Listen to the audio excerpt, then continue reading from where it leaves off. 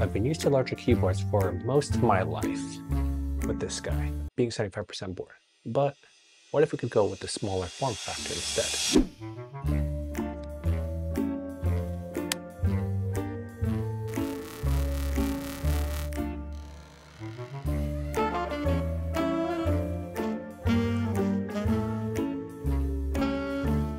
Keyboards. This is one of those often essential peripherals for everyone from creating software, writing emails, or even just posting random comments on the internet. Now, they all come in different kinds of shapes and forms, whether it's in an iPhone, a laptop, or even your desktop keyboard. So I've been rocking the Drop OLKB Planck V7.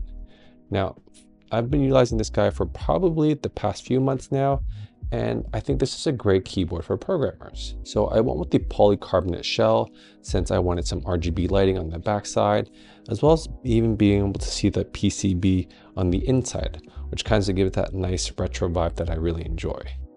When my friends do see this keyboard, or even my family members actually for that case, and they see my kid use it, they honestly think this is a keyboard for her because it seriously looks like a toy and a full-size one for when she holds it up herself.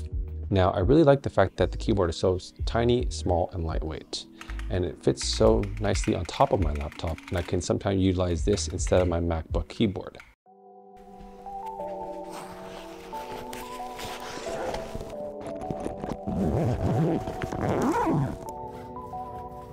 Now, when I head to the office, I carry a MacBook Pro, headphones, my normal EDC bag, coffee, water bottle, sometimes even snacks, or my lunch. So having this board be so airy and light, that's really nice to be able to put this into my bag without feeling extra bulky and weigh it down too. The build process was fairly easy since this is the seventh iteration, so there are many, many build guides and tutorials already out there on YouTube. And since this is a custom keyboard, I can configure sort of any switches or keycap combinations that I want. I'm not super hardcore into knowing the different types of switches, whether it's my GMMK Holy Pandas or these Boba U4T switches, but all I do know is I think I'm going back to my old roots and really enjoying the various tactile switches I've been playing with over time.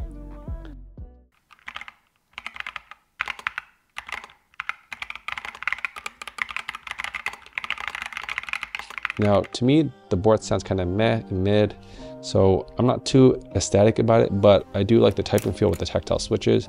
So if you have any suggestions to making this board sound a little bit better or nicer, um, definitely drop the comments down below. So I'd love to hear what you have in your build too. Now on a day-to-day -day use, I gotta be honest with you. The first couple of weeks utilizing this board, it took me a minute to get used to it. Thankfully, they do include a piece of paper printout to help with that. Now, once I got used to it, the nice thing about this keyboard is it is QMK and VIA compatible, which means you can customize different layers or where you want your certain keys to go essentially.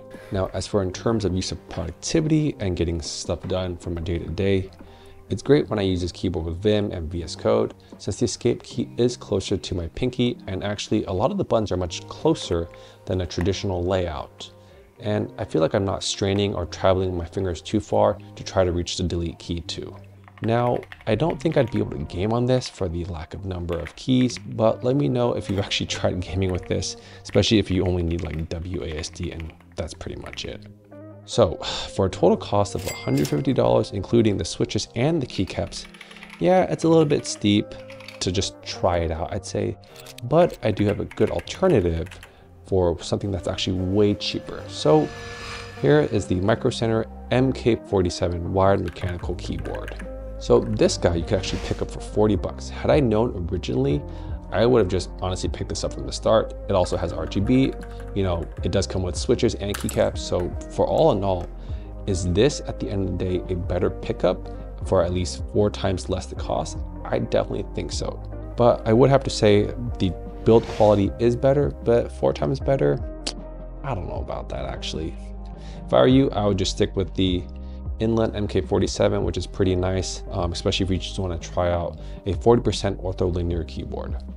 Well, if you found this video useful at all in any way or fashion form, definitely let me know in the comments down below by giving this a thumbs up, as well as subscribing or hitting the follow button so you can see what else I utilize these keyboards and how I use them whenever I program too.